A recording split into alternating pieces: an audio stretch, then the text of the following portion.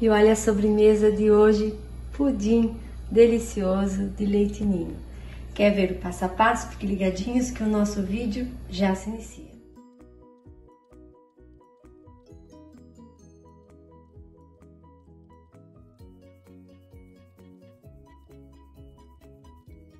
segue na nossa receita, muito simples e muito fácil e muito gostosa também. Três ovos inteiros. Vamos acrescentar também 500 ml de água. Não estão ouvindo errado, não é água mesmo. E aqui uma xícara e meia de açúcar refinado. Se você quiser colocar uma, tudo bem, mas a minha aqui eu estou utilizando uma e meia de açúcar. E agora vamos bater um pouquinho.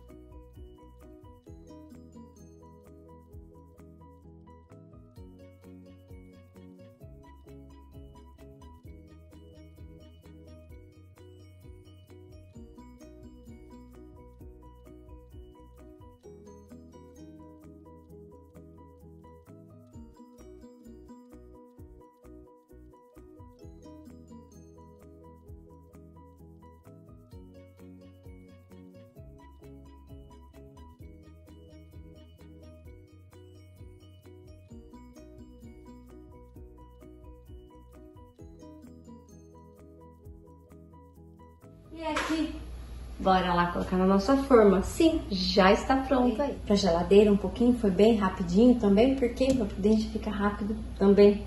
É só bater, né? E aqui, nesse pininho aqui, eu vou distribuir aqui. Vou tentar bem devagarzinho, para que não esparrame, porque ó, ela deu uma leve geladinha, porque foi muito rápido mesmo, ó. Eu venho aqui, ó, e aqui por cima eu coloco aqui o nosso pudim, ó nosso líquido do pudim. Ó, meu, se eu tivesse colocado no freezer, eu acho que ficaria bem melhor, porque daí ela não misturaria nada, nada ao conteúdo, ó. Então, se você quiser levar ao freezer por uns 30 minutinhos, também não vai modificar, porque depois a calda vai ali, né? Então, vai dar super certo.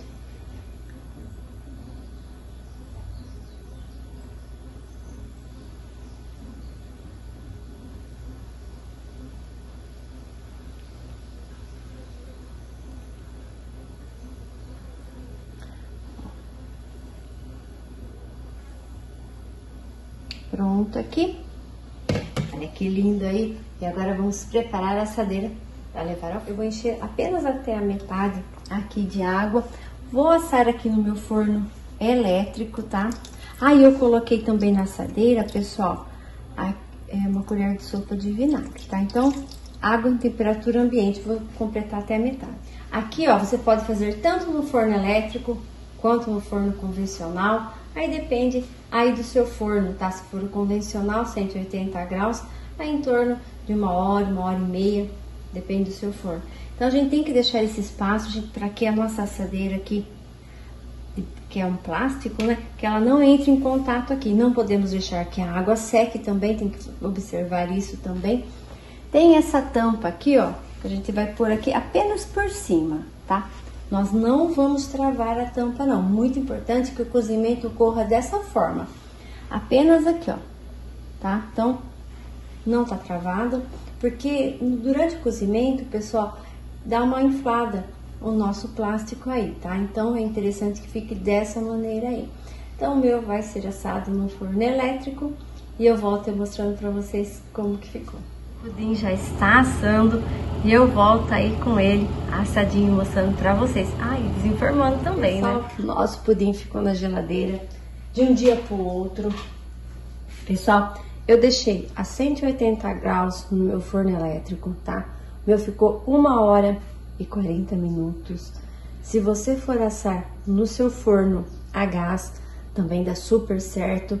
Se você quiser colocar até um paninho para assar, Coloca um paninho, coloca água, vinagre, né, para não manchar a nossa forma e fica a 180 graus. Tomar cuidado para não encostar a forma de plástico em momento algum na assadeira, tá? Então tem que ter um espaço para que ela asse completamente. Se você for assar numa forma de alumínio, também você pode assar também de alumínio, que dá super certo também. Aí você pode assar por uma hora e meia, tá? A 230 graus, tá? Mais 230 graus em forma de alumínio. Nessas de plástico não, e elas são próprias, tá? São da plastilana e são próprias para ir ao forno. Então bora lá virar o nosso pudim agora. E olha aí o nosso pudim, pessoal. O meu pudim tem furinhos. Caso você queira um pudim mais lisinho, uh, você pode passar pela peneira, deixar aquela, tirar aquela espuminha que faz por cima, tá? Vocês podem ver que aparece um pouquinho dos furinhos aqui. E agora vamos desenformar essa delícia. Ó, é apertou ali, olha a praticidade. Você pode entregar aí pro seu cliente que ele desenforme na casa dele também o pudim, tá, pessoal? Então, faça venda aí maravilhoso com os produtos e a qualidade da plastilane que pode ir ao forno convencional e ao elétrico. E olha como ficou lindo aí o nosso pudim. E agora, é claro que vamos tirar uma fatia para vocês verem como que fica. Pessoal, Vamos tirar uma fatia para vocês. Ah, a forma média 19,5 por 7 de altura.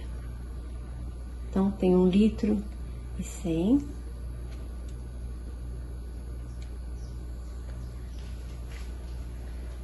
Tem bastante gente que gosta assim, de saber certinho, né? Daí já faz uma forma. Então, se quiser fazer uma de 18, ele vai ficar um pouquinho mais altinho do que o meu.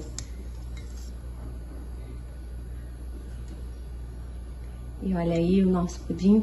Lembrando que o meu eu bati no liquidificador, então ele tem os furinhos. Caso você não queira com os furinhos, é só você deixar e tirar aquela espuminha ou fazer a mão. E vou cortar aí pra vocês. E olha aí o resultado do nosso pudim de hoje, com ou sem furinhos. Qual é a preferência aí de vocês, pessoal? Eu aqui gosto dos dois jeitinhos. E espero muito que vocês tenham curtido. Muito obrigada a todos que chegaram até o final, deixar aquele joinha que ajuda muito o canal e até um próximo vídeo, pessoal!